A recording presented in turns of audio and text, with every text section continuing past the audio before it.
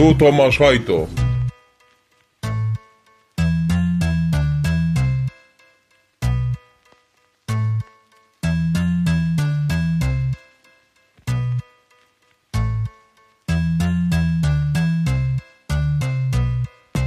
Ostatnio bardzo nieładne komentarze są na mój temat w internecie. Tak sobie troszkę śmieszkujecie. Dużo hejtu na mnie spływa, absolutnie niezasłużonego. Gdybyście tu siedzieli ze mną na jednej kanapie, pewnie byście tego mi w twarz nie powiedzieli.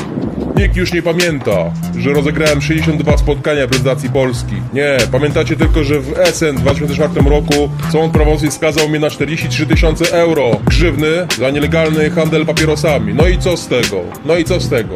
A kto wymyślił hasło truskawka na torcie, co? No. A słynne moje powiedzenia? Ale zagraj to, po co to wybijecie? Graj z kija, laga na chaos. Wy to kochaliście, prawda? I nadal kochacie.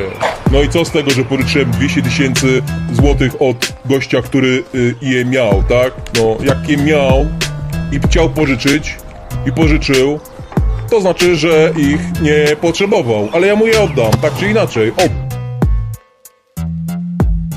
Os, os, ostatnio bardzo nieładne komentarze są na mój temat w internecie.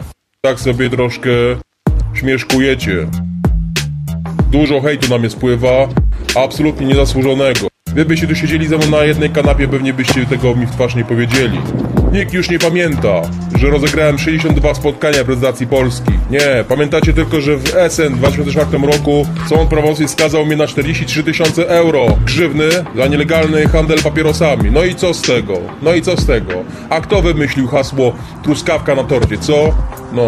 A słynne moje powiedzenia?